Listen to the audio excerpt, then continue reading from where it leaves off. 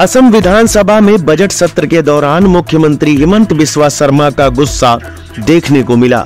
विधानसभा में Muslim marriage and divorce act 1935 के खत्म किए जाने पर सवाल उठा रही कांग्रेस के नेताओं को उन्होंने जमकर खरी खोटी सुनाई।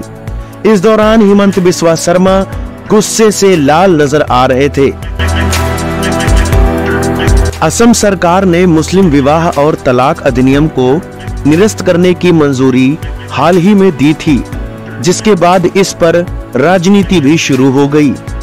मामले को लेकर मुख्यमंत्री हेमंत बिस्वा शर्मा ने एक बार फिर कांग्रेस पर हमला करते हुए कहा कि कांग्रेस के लोग इस बात को गांठ बाँध लें कि जब तक वो ज़िंदा है, तब तक छोटी बेटियों की ज़िंदगी बर्बाद नहीं होने देंगे।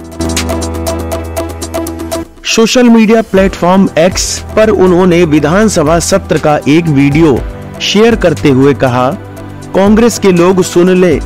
जब तक मैं हिमंत बिस्वा शर्मा ज़िंदा हूँ, तब तक असम में छोटी बच्चियों का विवाह नहीं होने दूँगा।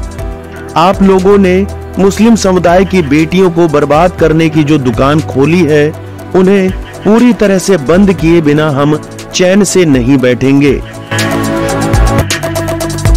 दरअसल, हेमंत बिस्वा शर्मा ने 2026 तक राज्य में पूर्ण रूप से बाल विवाह को खत्म करने का संकल्प लिया है।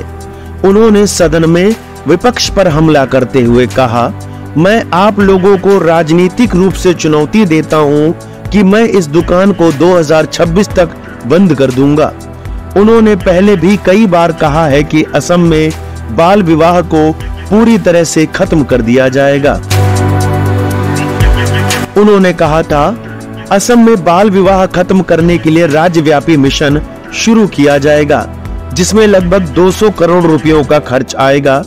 कुछ लोग कहते हैं कि हम मुस्लिम विरोधी हैं, लेकिन तीन तलाक बाल विवाह और बहु विवाह को खत्म करने के लिए हमने कांग्रेस से ज़्यादा काम किया है।